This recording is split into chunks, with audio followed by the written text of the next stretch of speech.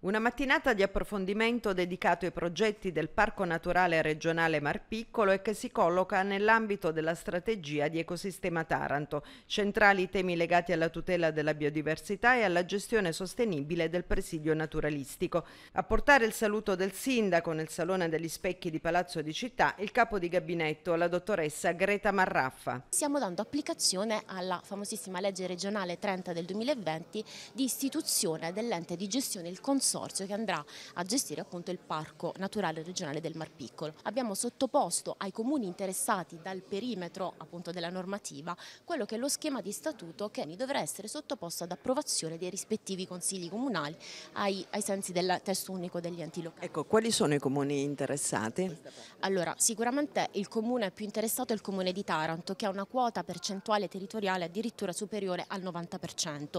Poi abbiamo il comune di Statte, di Carosino, di Grottaglie di Fragagnano, Montegliasi e San Giorgio Ionico. Diversi gli interventi programmati di esperti e docenti universitari. Noi abbiamo realizzato una serie di monitoraggi nell'arco di due anni e quindi adesso oggi stiamo offrendo i risultati che sono senz'altro positivi perché questi pascoli hanno mostrato una ricchezza floristica notevole e che quindi siccome sono all'interno del parco del Mar Piccolo chiaramente meritano un occhio particolare una tutela proprio in vista della tutela della biodiversità. Diciamo. Un percorso progettuale abbastanza articolato, quello relativo al parco naturale regionale del Mar Piccolo. La prospettiva?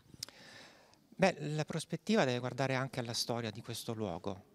La storia di questo luogo è la storia anche dell'istituzione del parco.